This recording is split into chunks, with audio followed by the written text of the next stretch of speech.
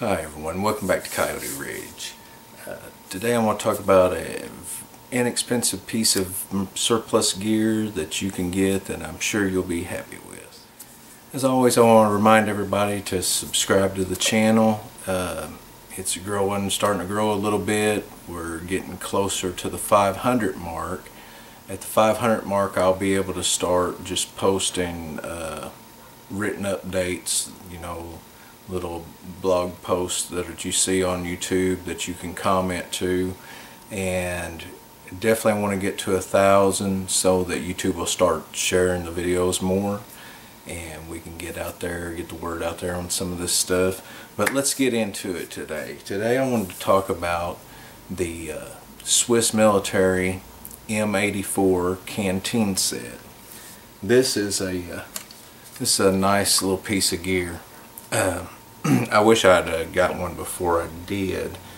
Uh, it's a really handy little bottle. The shape of the bottle uh, doesn't really give it away as the military look that most people here in, in the U.S. are used to.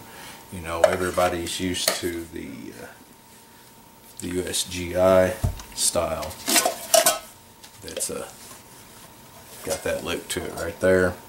Uh, the difference in size between these, let me, let's get it pulled up like this.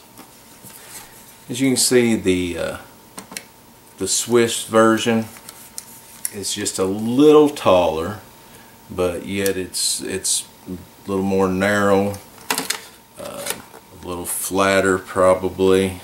Um, suits itself well to, you know, if you just want to throw into a pack. The cup is uh, quite a bit smaller, uh, but it's it's you know it's still a nice size. Uh, lends itself to uh, drinking from the cup for beverages really well. Uh, basically, kind of gets the you kind of get the feel and size of your average coffee cup. And these are aluminum you can buy these two separate. You can get just the canteen or just the canteen cup or you can get them together. You can buy them just one set or there's a couple places I think that you can get these in sets of three which I really kind of wish I did and may still. You can outfit your whole family or whole uh, whole group whatever it is you're doing with with these and uh, they hold a little less than the US canteens. Let me show you the canteens by themselves. They hold just a little less. Uh, this is 0.8 liters.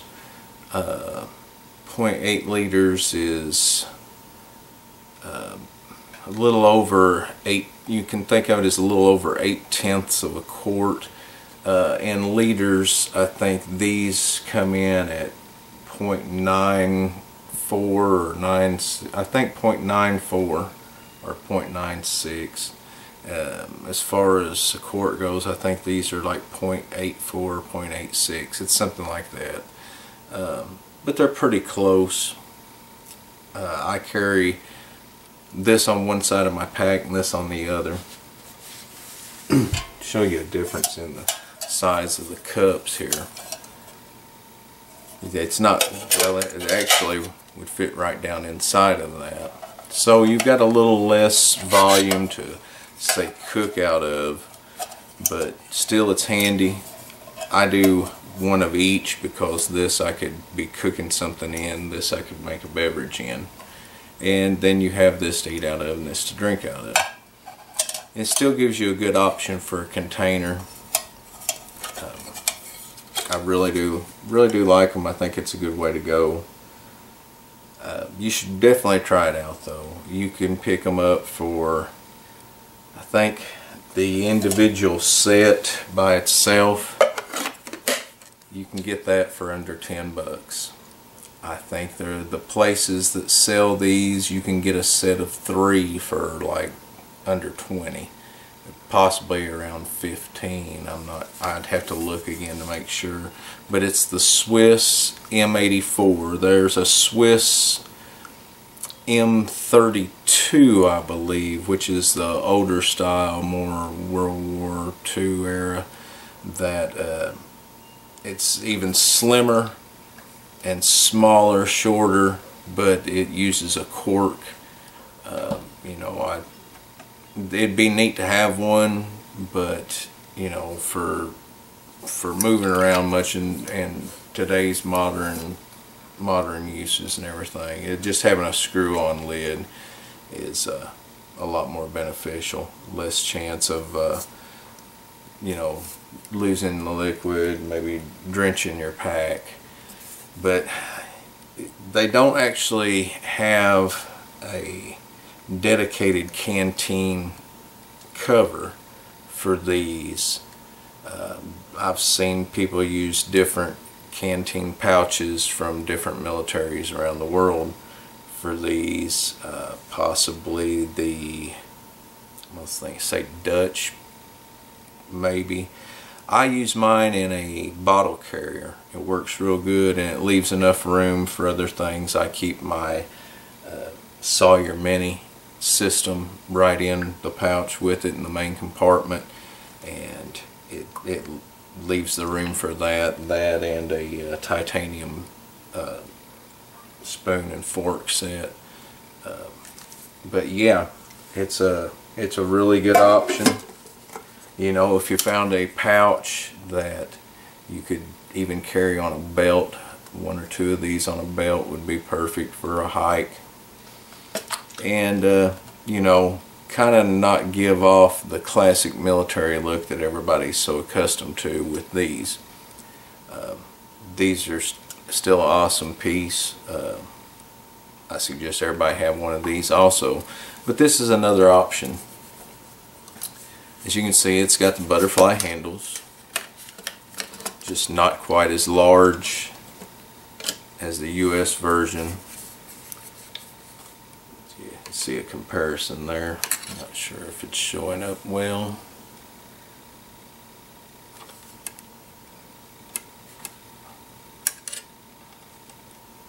But they're a really nice little piece of kit. Very, very inexpensive. And, you know, there's no reason that I would think that anybody wouldn't like one. I know, don't know of any kind of lids that are available for this. Um, you'll see these two people put it over the top.